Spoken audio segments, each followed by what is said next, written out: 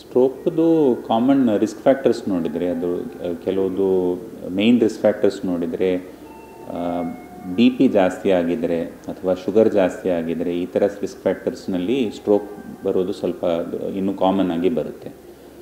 ಮತ್ತು ನಮ್ಮ daily life style ಹ್ಯಾಬಿಟ್ಸ್ನಲ್ಲಿ ನೋಡಿದರೆ ಸಿಗರೆಟ್ ಸ್ಮೋಕಿಂಗ್ ಡ್ರಿಂಕ್ಸ್ ಮಾಡೋದು ಅಥವಾ ಕೆಲಸನಲ್ಲಿ ಜಾಸ್ತಿ ಸ್ಟ್ರೆಸ್ ಇದ್ದರೆ ಎಕ್ಸರ್ಸೈಸು ಎಕ್ಸರ್ಸೈಸ್ ಕಡಿಮೆ ಮಾಡಿದರೆ, ತುಂಬ ಇನ್ಯಾಕ್ಟಿವ್ ಆಗಿದ್ದರೆ ತೂಕ ಜಾಸ್ತಿ ಆಗಿದರೆ ನಿದ್ರೆಯಲ್ಲಿ ನಿದ್ರೆನಲ್ಲಿ ಏನಾದರೂ ಪ್ರಾಬ್ಲಮ್ಸ್ ಆಗಿದರೆ, ನಿದ್ರೆನಲ್ಲಿ ಗೊರಕೆ ಜಾಸ್ತಿ ಹೊಡೆಯೋದು ಒಬ್ಸ್ಟ್ರಕ್ಟಿವ್ ಸ್ಲೀಪ್ ಆ್ಯಪ್ನಿಯಾ ಅಂತ ಹೇಳ್ತೀವಿ.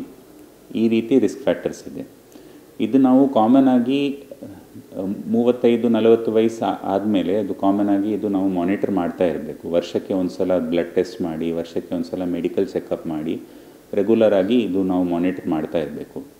ಅದೇ ಥರ ನಮ್ಮ ನಿದ್ರೆಯಲ್ಲಿ ಏನಾದರೂ ಡಿಸ್ಟರ್ಬೆನ್ಸ್ ಆಗ್ತಿದ್ರೆ, ನಿದ್ರೆ ಸರಿಯಾಗಿ ಬರ್ತಾ ಇಲ್ಲ, ಬೆಳಗ್ಗೆ ಎದ್ದಳುವಾಗ ಫ್ರೆಶ್ ಆಗಿರಲ್ಲ ಕೆಲಸ ಮಾಡೋದ್ರಲ್ಲಿ ಕಾನ್ಸಂಟ್ರೇಷನ್ ಇರಲ್ಲ, ಈ ರೀತಿ ಏನಾದ್ರು ಇದ್ದರೆ ಒಬ್ಸ್ಟ್ರಕ್ಟಿವ್ ಸ್ಲೀಪ್ ಆ್ಯಪ್ನಿಯಾ ಅಂತ ಒಂದು ಕಂಡೀಷನ್ ಇದೆ. ಜೊ, ಗೊರಕೆ ಜಾಸ್ತಿ ಹೊಡೆದು ನಿದ್ರೆಯಲ್ಲಿ ನಮ್ಮ ಆಕ್ಸಿಜನ್ ಲೆವೆಲ್ ಕಡಿಮೆ ಆಗುತ್ತೆ. ರಕ್ತದಲ್ಲಿ ಆಕ್ಸಿಜನ್ ಲೆವೆಲ್ ಕಡಿಮೆ ಆಗಿ, ಅದರಿಂದ ಕೆಲವರಿಗೆ ಬಿ ಪಿ ಶುಗರು ಸ್ಪೈಕ್ ಆಗೋಕ್ಕೆ ಚಾನ್ಸ್ ಇದೆ. ನಿದ್ರೆಯಲ್ಲಿ.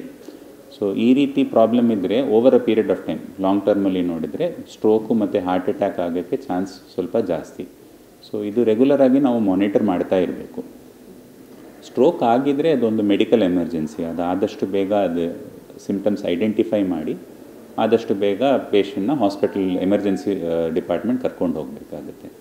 ಅಲ್ಲಿ ಸಿ ಟಿ ಸ್ಕ್ಯಾನ್ ಅಥವಾ M R I scan doctor examine ಮಾಡಿ ಸಿ ಟಿ ಸ್ಕ್ಯಾನ್ ಅಥವಾ ಎಂ ಆರ್ ಐ ಮಾಡಿ ಕೆಲವೊಮ್ಮೆ within two to three hours ನಾವು ಇದು ಸಿಮ್ಟಮ್ಸ್ ರೆಕಗ್ನೈಸ್ ಮಾಡಿದರೆ ಕೆಲವು ಇಂಜೆಕ್ಷನ್ಸು ಕೆಲವು ಪ್ರೊಸೀಜರ್ಸ್ ಇದೆ.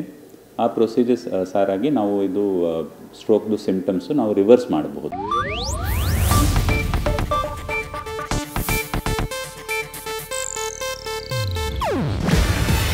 ಇದು ಏಷ್ಯಾನೆಟ್ ನ್ಯೂಸ್ ನೆಟ್ವರ್ಕ್ ಪ್ರಸ್ತುತಿ. ನೀವು ನೋಡ್ತಿದ್ದೀರಾ ಏಷ್ಯಾನೆಟ್ ಸುವರ್ಣ ನ್ಯೂಸ್.